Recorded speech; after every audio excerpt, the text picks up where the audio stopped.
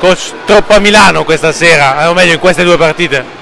Assolutamente sì, Milano è una squadra molto solida, lo sappiamo, con eh, tante possibilità anche di cambiare all'interno della partita e io penso che devo essere orgoglioso della mia squadra perché ci abbiamo provato, soprattutto a livello mentale all'inizio, anche nella gara in andata, nonostante i parziali siano stati pesanti in alcune situazioni, però penso che ci abbiamo provato, abbiamo anche fatto delle buone cose, provato a coprire, solo che quando devi sempre attaccare contro un muro ben organizzato, forte fisicamente, forte tecnicamente, naturalmente diventa difficile e abbiamo pagato alla lunga questa, questa pressione.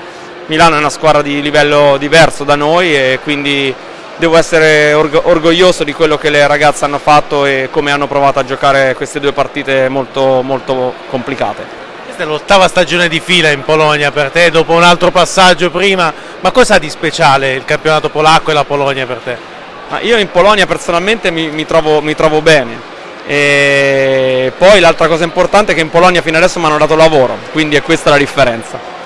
Voi avete questi tifosi spettacolari, oggi erano qui in 200-300 forse. Sono speciali, oggi erano 160 persone, sono sempre venute tutte le partite di Champions League in qualsiasi parte del mondo abbiamo giocato sono spettacolari, in casa ci danno un supporto speciale e veramente sono qualcosa di speciale per noi. Mi piacerebbe tornare in Italia?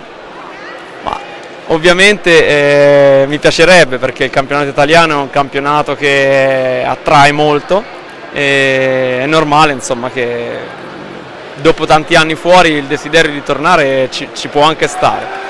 Però in questo momento come ti dicevo ho mm, un contratto con la squadra dove sto allenando perché abbiamo prolungato il contratto, mi trovo bene e quindi cercheremo di essere più competitivi possibile, soprattutto in Polonia e poi quando usciamo di fare il nostro meglio.